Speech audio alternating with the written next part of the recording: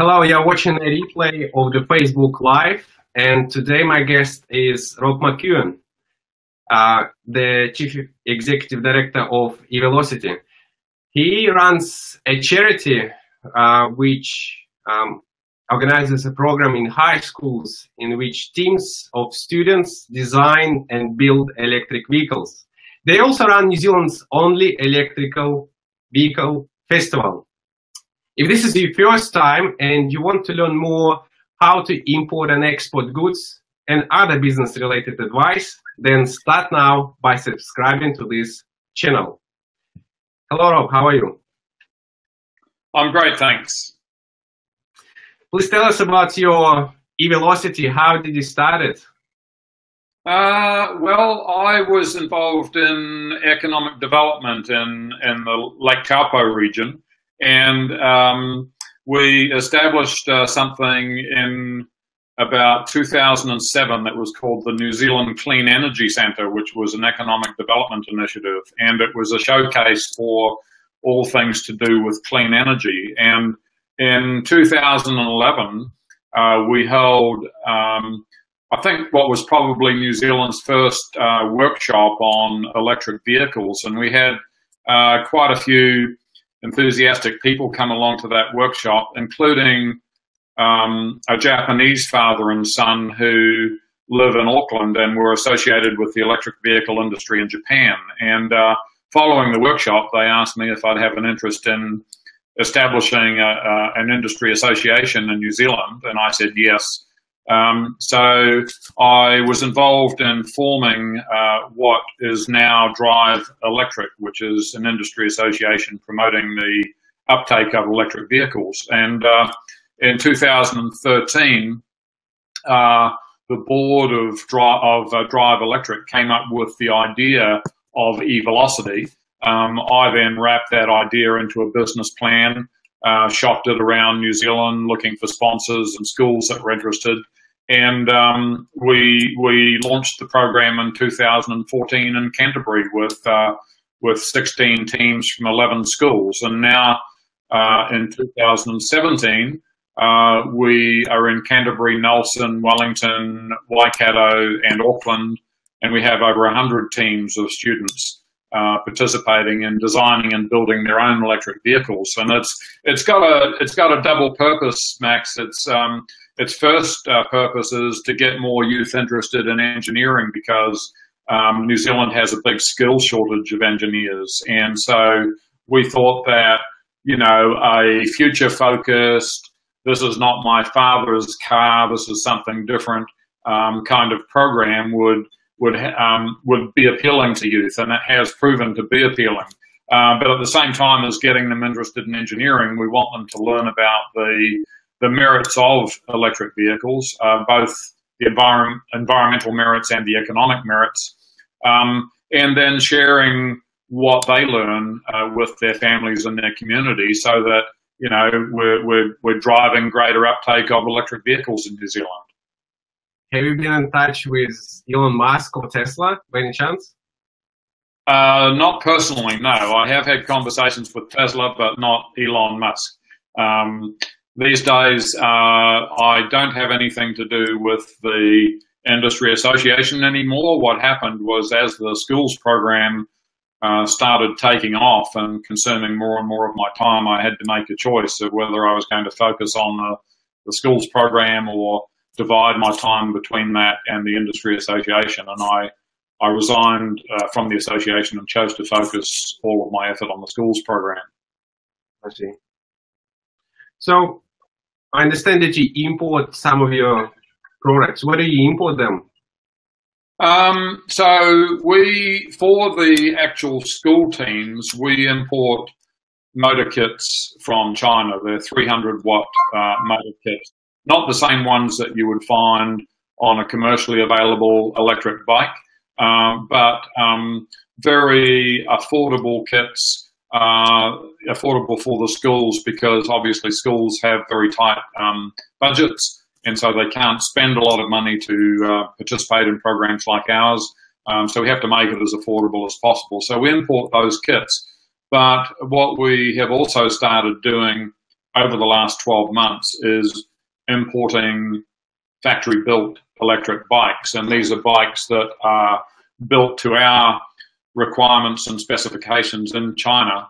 Um, and we're, we're now bringing those into the country and uh, setting up a distribution network and selling those.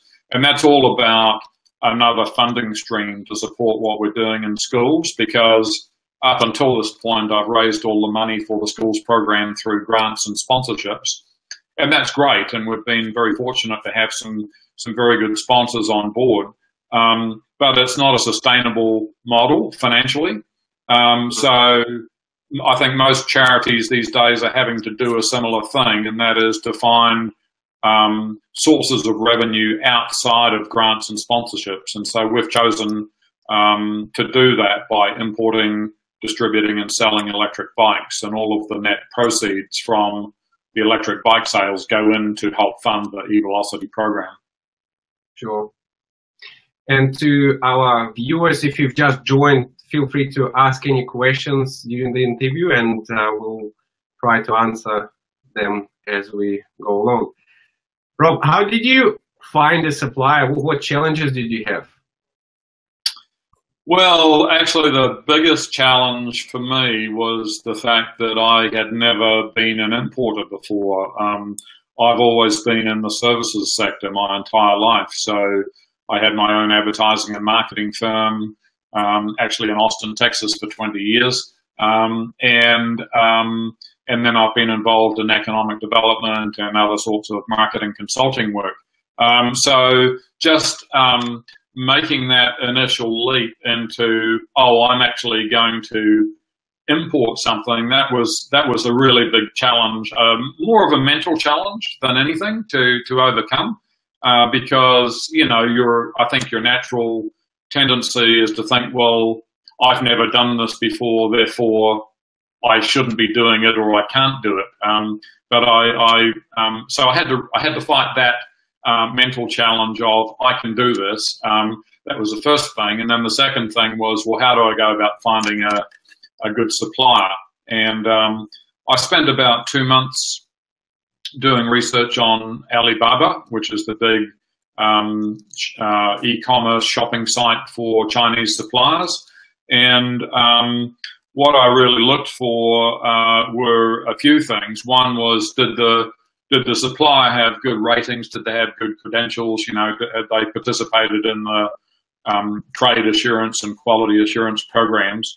Um, and did they have the style of bikes that I was looking for? Um, and would they supply me in the quantities I was looking for? Because I didn't want to start out by just ordering a full container load, um, not knowing, never having done it before, um, and not knowing anything about the supplier.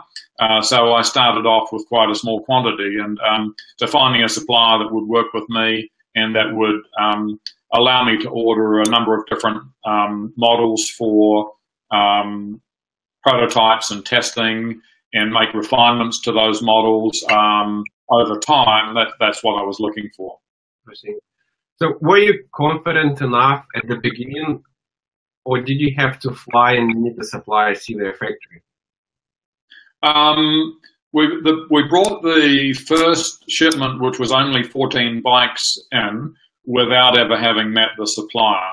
Um, and then I thought, okay, um, I got a group of um, of people together. I live in Taupo, so I invited a, a, group of people to come around to my place and have a look at the bikes. Some of them were engineers and um, and other kinds of tradespeople, and um, just give me their impressions of the of the welding quality, of the assembly quality, of the feel of the bike when they rode it, that sort of things. And um, the the feedback that I got was really positive. Um, uh, especially from the engineers who felt that the bikes uh, you know, were really well engineered, welded, and assembled. Um, but um, I felt that before I could be confident in taking the next leap, you know, towards ordering a container load of bikes, that I really needed to go to China and meet the supplier firsthand, get to know them, um, get to get to know some of their people, see their factory, develop a personal relationship, um, and and also just um, try and understand whether the factory that I was working with had the kind of culture in their workplace that was um, um, the right sort of culture for me to be able to work with in the longer term. Would you have done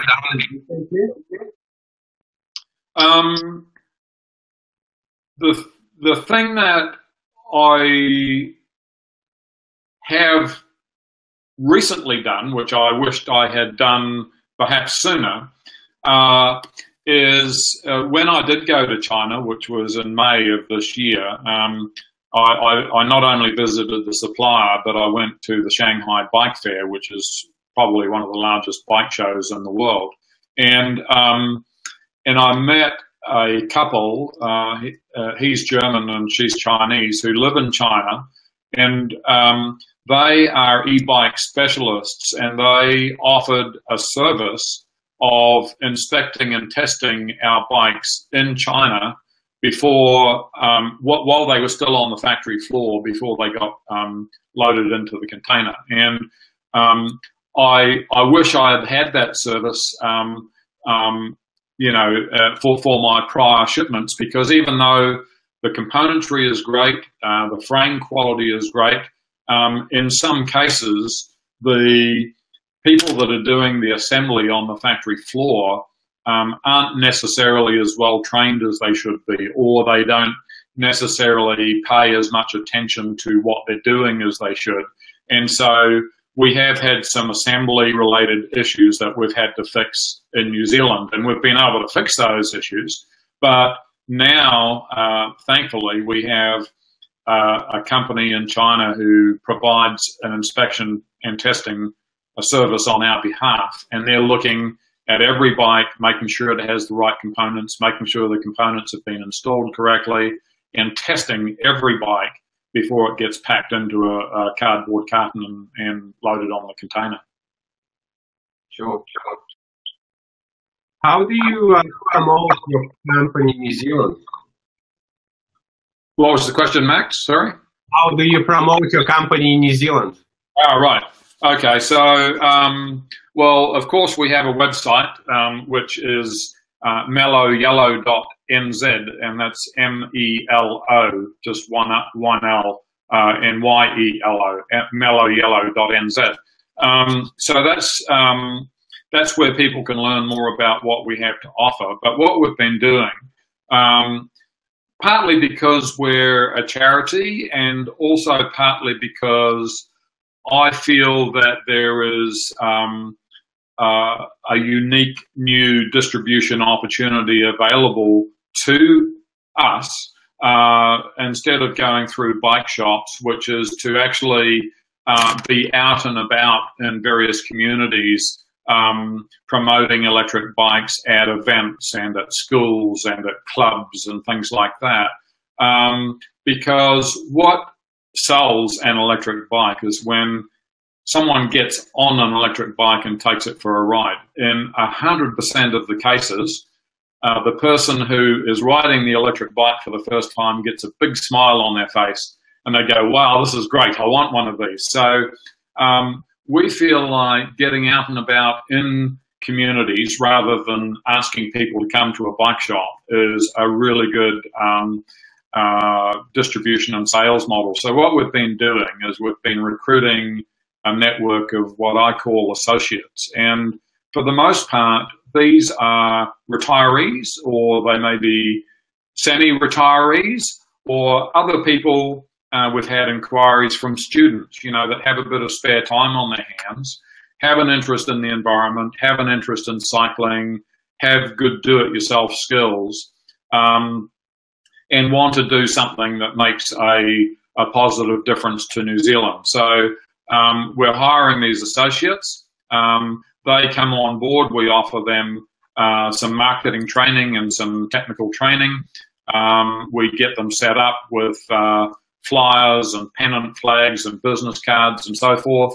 We help them put a marketing plan together for their community. Um, and then uh, they get out and about in their community demonstrating the e-bikes and selling the e-bikes on our behalf, and they make a they make a commission on the sales and the process, and then all of the remaining proceeds from the sale support the EVolocity program in schools. I've got a question from Alex. How do you charge the batteries? Can you do it? Yes. Uh, yeah, so the batteries are charged. Um, you don't actually have to take the battery off the bike, although you can take it off uh, very easily and take it inside. Um, and it comes with a charger um, that uh, that is a, a four amp uh, charger. We we actually use four amp chargers. Most bike companies use two amp chargers, um, and it takes um, two to three hours to fully charge a battery if it's if it's empty. You just plug it in. It's just like pl uh, plugging in a laptop. It's the exact same kind of charger that most uh, laptops use. So you just plug it into a three pin outlet. Um, let it charge. Um, you know, the green light comes on when it's fully charged, and off you go. Um, I, I uh, personally, um, I, I, have an e-bike. I don't ride it as often as I should, uh, but um, I could do probably three rides a week on a full charge, and that would be three rides of about, you know, up to 30 kilometers per ride. I see.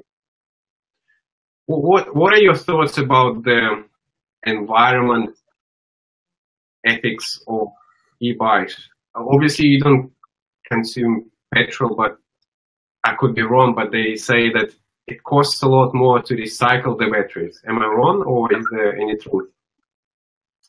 Um, if you if you look at the an, an electric vehicle, not just a bike, but any electric vehicle, um, there's actually three aspects to its environmental impact.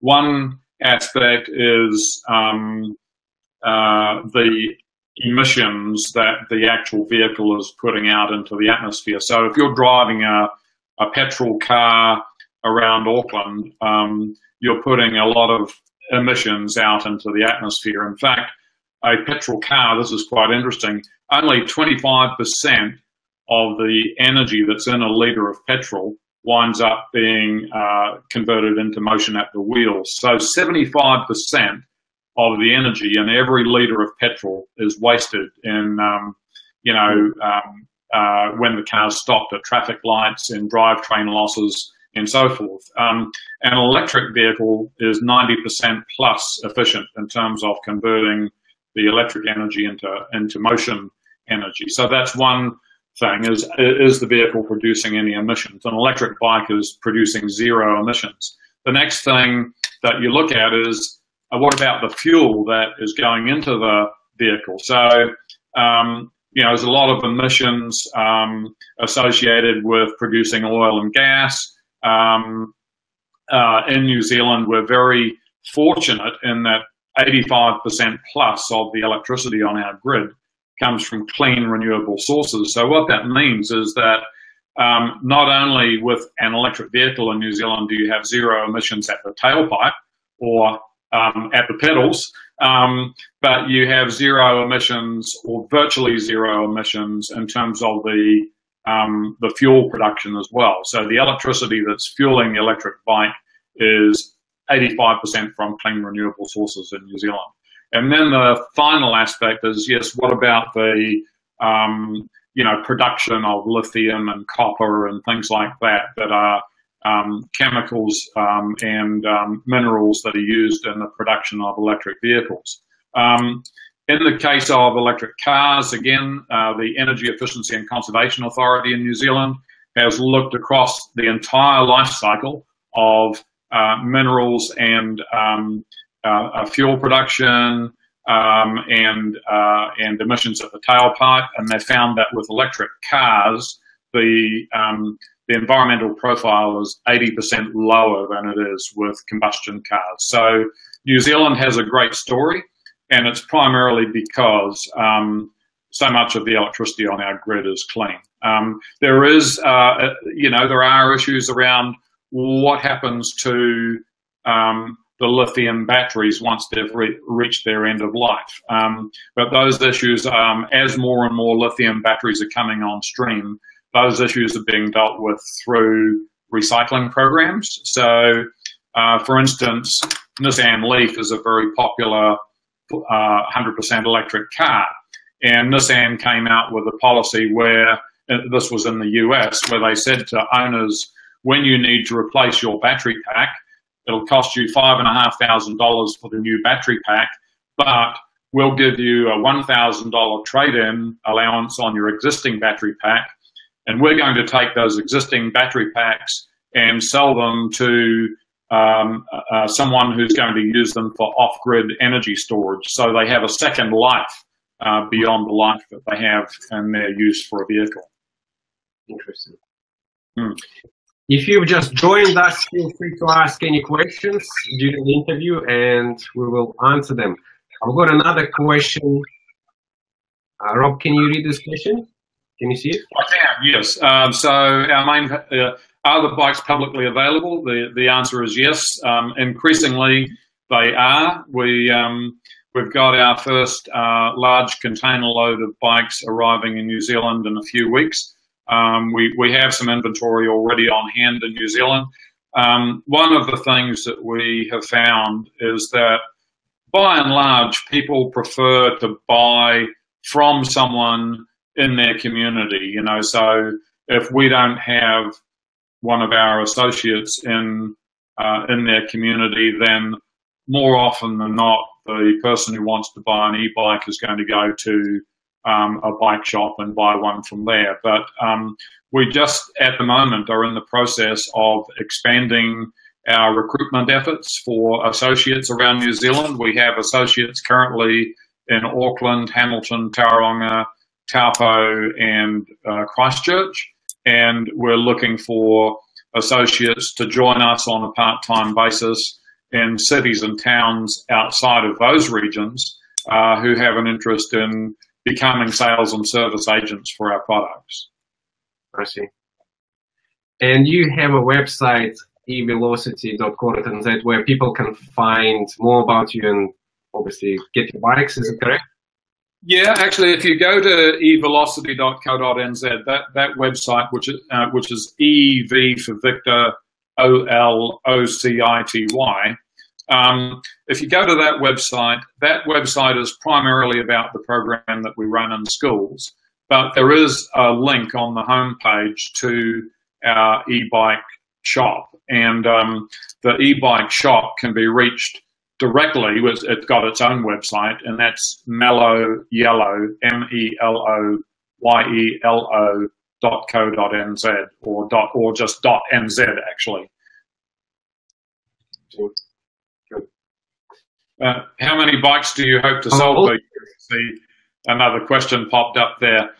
Um, uh, we we hope next year to sell between 300 and 500 bikes. Um, that's uh, that would what that would do for us is that would provide um, about 50% of the funding that we need to run our program in schools, uh, which would be fantastic because what we're really trying to do um, through the sales of electric bikes is um, wean ourselves from dependence on grants and sponsorships to, to support the program. So um, uh, the Mellow Yellow electric bike program is what's called a social enterprise. Um, it's all about um, uh, doing uh, social and community good. And, um, and, and, and, and in our case, that's all about supporting engineering education in schools. I see. I've noticed that you had some new articles uh, published and some video interviews. How did you get this publicity? Did you have to approach the journalist yourself or did they found you?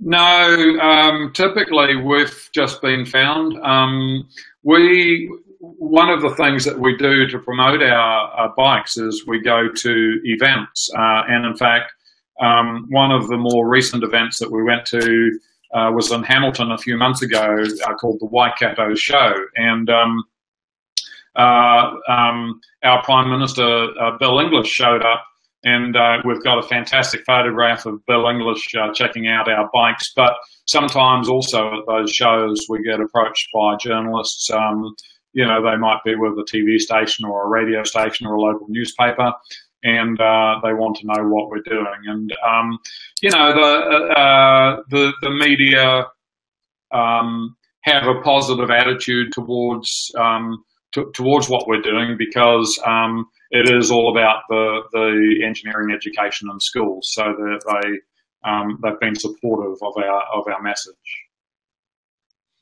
What are you planning to do at the end of this year?